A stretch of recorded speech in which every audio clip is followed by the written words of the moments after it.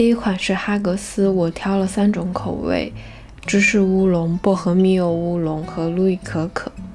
芝士乌龙的，它闻起来有香香的奶油味，喝起来的芝士味比较淡。因为它是风味型的，就是需要你去品、去感受、去捕捉，才会有芝士的感觉。是清淡一点的茶，整体不是很惊艳，但是还不错。但这个茶它没有方便拿取的棉绳，如果你是热泡，三分钟的时候需要把茶包取出来。如果你是去户外或是在教室喝的话，就不太方便。第二款薄荷蜜柚乌龙，我很喜欢它闻起来的味道，薄荷里透露着一股奶香。喝起来薄荷味很明显，茶香淡淡的，即使是在热茶里，我也能喝到一点薄荷的清爽。它冷泡或热泡放凉一点会很好喝。今天测评里所有带薄荷的茶，我最喜欢这一款。第三款是路易可可，它闻起来有点酸酸的，是红茶和橙子的味道。你最开始喝下去就是红茶的味道，后面会有可可的回甘，不是那种加工过的巧克力的甜甜的味道，是单纯的可可那种特殊的香气。这种回味还挺特殊的，我还挺喜欢。但是我不是特别喜欢它里面加了橙子的那部分的味道。嗯，然后这一款也没有标签的线。我买了三盒，他送了一个玻璃的冷泡杯，每一款茶都配了小卡片，上面介绍了它的口味，还有很多种喝法。它也是我这次测评里唯一在购买之后客服发了一大堆介绍的。虽然我不一定会认真看，但是觉得售后非常用心。第二个品牌蜜香里茶，这个我买了两个口味，伊豆雪和小甜饼，他送了两个小茶包，清晨和十三娘。第一个口味伊豆雪，它茶包里可以看到一个很可爱的雪花糖，客服说就是糖霜，闻起来有很明显的黑豆香和奶香，热泡后就是很明显的红茶，伴随着黑豆香。这款单独喝用牛奶热泡和冷泡都很好喝，我都有尝试过，它是我在自己喝茶的时候会第一个想到的茶。第二个是小甜饼，我觉得它主要还是红茶的味道，但你喝了很多口之后，会感觉嘴里有明显的可可留下的苦味，而且是越喝越明显。但是我没有感受到它介绍里面写的香草的味道。第三个是他送的小茶包，清晨柠檬草的味道很突出，柑橘类的香气还挺明显的，我觉得是款非常提神的茶。第四款是十三娘，泡的时候就能很明显的感觉到肉桂味儿，但这个嗅觉上的肉桂味儿让我忍不住的联想到卤肉，喝起来还好，主要是红茶味儿，除了肉桂味儿之外，还有一点淡淡的橙子味儿，还附送了品牌的小册子，如果小册子好看的话，就会多看两眼，然后就会发现一些其他的味道，还挺聪明的。第三个品牌羽山翁，我买了一份人参茶，一份养生茶组合，它里边有胖大海雪梨茶、桂圆红枣茶和红豆薏米茶。人参茶它有很直接的人参的味道，而且人参的味道要大于乌龙茶的味道，相比下来茶香比较清淡，感觉比较耐泡。如果你是很喜欢这一款茶，我觉得可以尝试这个品牌的套装里的第一个味道胖大海雪梨茶，它比较清淡，淡竹叶和菊花。它的味道比较突出，带一点雪梨的清甜，我感觉比我之前喝过的胖大海类的茶要好喝一点。第二款桂圆红枣茶里边的红枣看起来就很多，一打开有很香的红枣味，因为里边有冰糖，所以第一杯会偏甜。第三款红豆薏米茶，这个味道比较。淡，只有淡淡的红茶味，但红豆和薏米可能需要泡比较久一点。我觉得这三款茶都属于功能性的茶，它们的功效是不一样的。我买的是套装，但它们都有独立的包装。我平常不太喝这类茶，所以没有办法准确的对比。但如果我主动去购买日常喝的功能性的茶，我会考虑这个品牌的。第四个品牌是 UMT，我购买了两个混合装的套盒，它有二十八种口味，会随机挑十五种在里边。我收到的两盒是一模一样的十五种口味，我都尝试了。第一个口味是西柚苏打，它的配料里完全没有西柚，但名字就叫西柚苏打，不知道是不是因为心理暗示，我还真喝出了西柚的感觉。它完全不含茶叶，所以对我来讲，我会更愿意选择新鲜的果汁儿。第二款是小蜜橘，是我完全欣赏不来。的味道，它酸酸的，就很像小时候一毛钱一袋的饮料。第三款是柚子煎茶，我看配料的时候才发现，它和西柚苏打的配料是一样的，就是多了绿茶，但好喝了一些，主要就是绿茶的味道。我看介绍里说这一款可以做茶泡饭，但就是加了绿茶就从西柚变成了柚子，这个操作我不太能理解。第四款是柑橘协奏曲，这款千万不要挨着鼻子去闻茶包，特别刺激。喝起来，我唯一能联想到的感受就是我之前抹脸不小心把保湿乳液弄到嘴里了的感觉。然后我试着捏着鼻子尝了一口，就完全没有这种感觉了，只剩下酸酸的味道。第五款是奇异毛峰，这款特别好闻，有热带混合果汁儿的味道，但喝下去就完全是另外一回事儿。先是白茶的味道，然后就会涌。上来一股杏仁的苦味，然后越喝越苦，我非常不推荐这个。第六款是白桃四季春，这个味道比较正常，就是白桃和淡淡的茶味，整体的味道比较清淡，白桃味比较明显。第七款是山竹马黛，闻起来就有山竹味儿，这个还挺好喝的，有淡淡的山竹的那种甜味。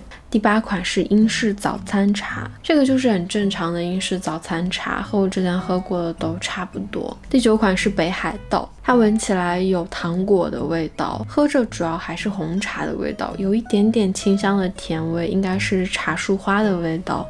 第十款是芒香炭焙乌龙。这个打开就能闻到很浓的芒果香气，喝起来也有芒果的味道，但明显感觉芒果的味道来自嗅觉。我还挺喜欢芒果的，但是觉得这个一般。第十一款是玫瑰香槟，除了红茶，玫瑰和菊花几乎没有什么存在感。香槟的香精感太抢风头了，我个人很不喜欢。茶还有一点点涩。第十二款是薄荷小姐，茶包闻起来都是香辛料的味道，冲泡的时候有一点点中药的感觉，但喝起来其实还不错。薄荷的味道不是很明显，有草药的感觉。然后我非常认真的觉得这个茶包可以去卤肉或者是做汤底。第十三个是草莓普洱，我一打开就闻到了草莓糖的味道，喝起来因为嗅觉上的草莓味太浓了，进到嘴里的液体好像没有什么味道。我挺喜欢闻起来的那种香精味的，但喝起来实在太寡淡了。第十四个是蜜桃冰淇淋，它里边有玫瑰茄，所以颜色很粉嫩。那主要是酸味，然后在回味中要去努力的捕捉，就会有一点点冰淇淋的感觉。它叫蜜桃冰淇淋，但是。它的味道主要是玫瑰茄的酸味，我还是不太能理解。如果它回味里的冰淇淋味是主要的味道的话，我觉得可能会好一点。最后一个是生姜红茶，茶包打开就能闻到姜的辛辣味，这个没有浓烈的香精感，我又挺喜欢姜的，所以我还挺喜欢这一款的。茶里的姜味比较适中，不会很突出，也不会完全没有存在感。我买了两盒套装，送了一个收纳罐、一些黄糖和一个青湿茶茶包。这个青湿茶它完全是中草药的味道，有一点像喝药，我个人不喜欢。它是祛湿的功能性的茶，我全部尝完之后觉得我非常不推荐这个套装，因为它里边有很多口味我都觉得不好喝，只有几个还不错，就不如去买单独的。而且如果你非常抵触香精这种添加剂的话，千万不要尝试这个套盒。第五个品牌是雷米花园，我买了这个品牌好像很出名的英式格雷伯爵茶，又买了一小罐山竹马黛茶，它是一个斯里兰卡的品牌。第一款英式格雷伯爵茶，它是一款伯爵茶，所以里边会有佛手油。这个牌子的这款茶里佛手油的味道，让我很难不联想到香皂、蚊香、洗发水之类的东西。我在第二次喝的时候，才对它的接受度稍微提高了一点点。但是我喝过的伯爵茶很少。没有办法准确的对比这款，我是肯定不会回购的。第二个山竹马黛茶，我买的是一小罐儿的，它不是独立包装的，一次泡三克。这个茶叶闻起来的味道真的很山竹。刚刚也有一款山竹马黛茶，那个的甜味要更明显一点，但是我更喜欢这一款里边的茶香。第六个品牌是一代，我也买了两种产品，一款是蜜桃乌龙茶，一款是六种口味的套盒，这六种口味都有另外的单独售卖。第一款蜜桃乌龙茶，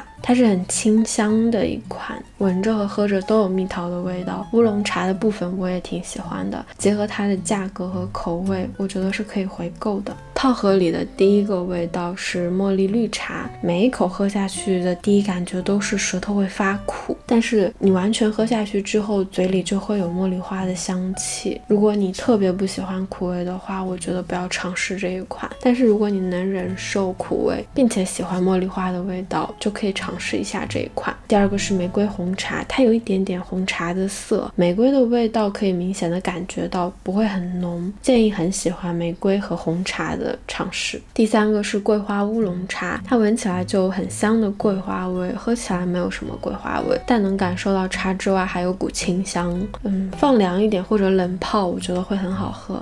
陈皮普洱茶，这个我就只喝到了普洱的味道，陈皮可能需要多泡一泡吧。第五个枣香红茶，这款枣子的味道隐隐的能捕捉到一些，但是非常淡，几乎都是红茶的味道。最后一个是蜜橘白茶，它有淡淡的胎橘的味道，还不错，没有什么特别的感觉。我觉得这个牌子是喝得出来没有添加很多东西，该香的材料就是香的，不该香的材料就是不香的。如果你不是特别喜欢某种茶的味道，就比较适合买这种混合装，可以尝到各种味道。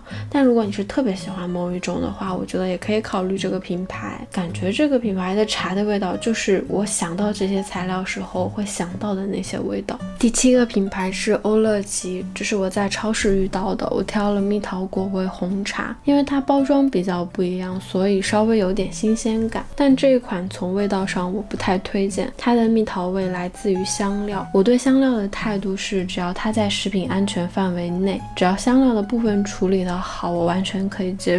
但如果处理的味道一般般或是不好，我就会比较排斥。我觉得这一款就挺一般的，所以不是特别喜欢。第八个品牌是查理，也是我在超市里遇到的。我选了菊花普洱，它有一股很独特的味道。如果在不知道它是菊花普洱的情况下去喝的话，我可能联想不到菊花。但是知道它是菊花普洱之后，又会觉得，嗯，好像就是菊花。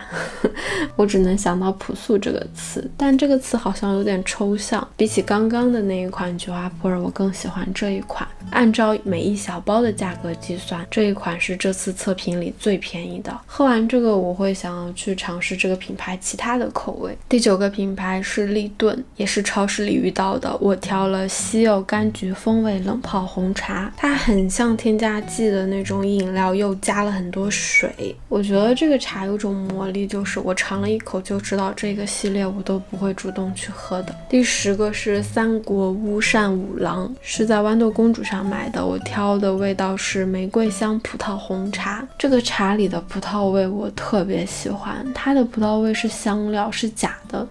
但是它太真实了，就真的是小时候吃的那种青葡萄的味道，它又没有葡萄的成分，所以我既觉得它很厉害，又觉得哪里怪怪的。热泡的茶味比较重，会掩盖掉一些葡萄味，喝下去的回味有点吃了葡萄皮的感觉。冷泡就是明显的葡萄味，但如果你不能接受香料这种添加剂的话，就不用尝试啊。但是如果可以接受，而且不讨厌葡萄的话，我还挺推荐的。但是这一款我在淘。淘宝上没有搜到，然后豌豆公主上又下架了。我之前问过官方，说他们后边会补货的，但我不知道他们什么时候会补上。最后一个品牌是共荣制茶，也是豌豆公主上买到的。我挑的口味是和红茶柚子口味，我觉得这个茶一般般，它的柚子味不是很清新的那种柚子味。如果你有做过柚子酱的话，应该可以联想到，就是柚子被煮过的那种味道。我个人不是很喜欢，冷泡热泡我都觉得一般般。